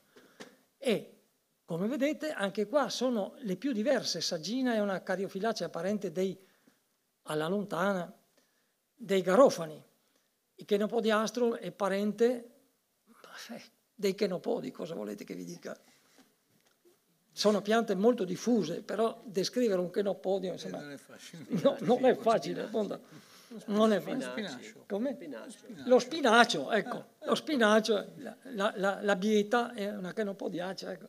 Però non credo che abbiate mai visto uno spinacio e una bieta fioriti, perché non, non, sono, no, non sono, più ah, commerciabili. E gli amaranti la stessa cosa, basta che andiate vicino a un campo di mais, là tutto, quasi tutto quello che vedete è amaranto. Ecco, queste sono specie che la città sembra attirare a sé, producono una tale quantità di semi, eh, il chenopodiastro murale che ho nel, nel giardino della chiesa vicino a casa mia, quest'anno ha fatto una splendida fioritura, tra virgolette, perché il, giardiniere non, è, non, era tanto contento, e avrà prodotto, io penso, milioni di semi, milioni di semi. E questo lo fanno tutte le piante, anche le piante da marciapiede, quelle che, voi, che, che si calpestano, va bene? Eppure riescono a sopportare il calpestio, a fiorire e a disseminarsi. Queste sono le piante, piante urbanofile. Bon, io direi mi fermo qua, grazie a tutti per la pazienza con cui avete seguito la...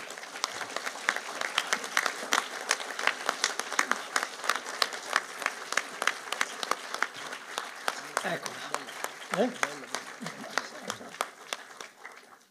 Allora, vi ringrazio veramente di cuore per essere venuti, eh, non è scontato, è piacevole vedere la sala gremita e, ed era, come vi dicevo, un momento importante per, per cominciare a riflettere e quello che continueremo a fare studiando questo libro.